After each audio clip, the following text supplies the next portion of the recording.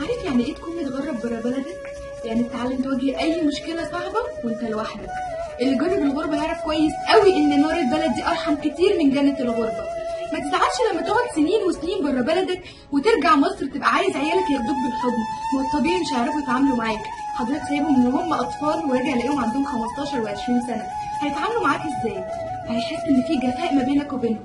ما تزعلش لما أولادك يعاملوك أكنك بنك أو محفظة بياخدوا منها فلوس. ما تزعلش من صحابك؟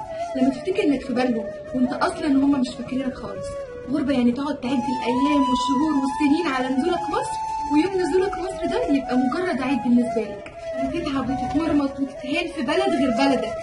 الغربة يعني لما تزعل تطبطب على نفسك ولما تفرح تفرح لوحدك ولما تعيط تعيط وأنت لوحدك ولما تحب تتكلم مع حد طبيعي هتتكلم لوحدك. ما انت محدش هيسمعك غير نفسك وبس. ساعتها تتعود إن أنت عمرك ما تحتاج لحد بعد كده. الغربة يعني ممكن تشوف أكتر حد حبيته في حياتك؟ سيبك لمجرد إنه تعب من كتر ما هو مستنيك ما تزعلش لو ابنك تعب بالليل أو احتاجك وما لقاكش جنبه.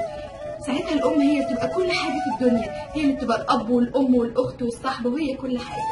يعني وجع محدش هيحس بيه ولا حد حاسس بيك غير أنت وبس. الوجع أكتر إنك تشتاق لبلدك وأقرب ناس ليك وتبقى متخيل إن أول ما ترجع هياخدوك بالحضن وتكتشف إن كل حاجة حواليك اتغيرت.